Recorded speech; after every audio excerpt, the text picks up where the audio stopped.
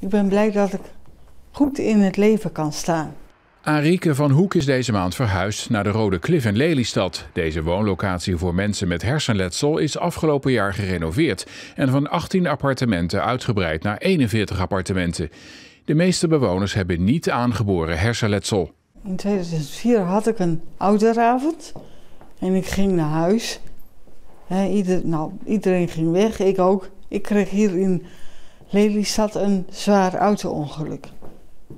Tien weken coma, dat is behoorlijk lang. En ik reageerde nergens op.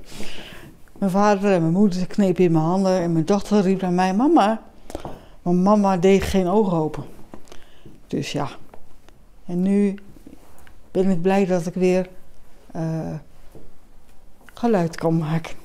Sinds het ongeluk is er voor Arieke veel veranderd. Ze kan niet geheel zelfstandig wonen, maar staat desondanks goed in het leven. Ze is blij met haar nieuwe huisje, want ook haar dochter kan komen logeren. Mijn dochter komt uit 2001, die is nu 16. Ja, en een, eh, een lieve meid. Arieke spreekt over haar leven voor en na het ongeluk. Ze was directeur van een kinderdagverblijf in Amsterdam. Nu is er voor haar dagbesteding geregeld. Ze onderneemt verschillende dingen. Ik werk op dinsdag in een kinderdagverblijf. Dat is vrijwilligerswerk, wat ik ontzettend leuk vind.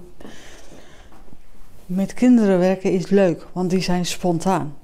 En dat vind ik leuk om mee te maken. Zo heeft elke dag een invulling en s'avonds eet Arike samen met de andere bewoners van de Rode Klif. Mensen om me heen, dat maakt mij ook een mens. Als ik alleen zou wonen, ja, dan zou ik toch een stuk gezelligheid missen. Ja.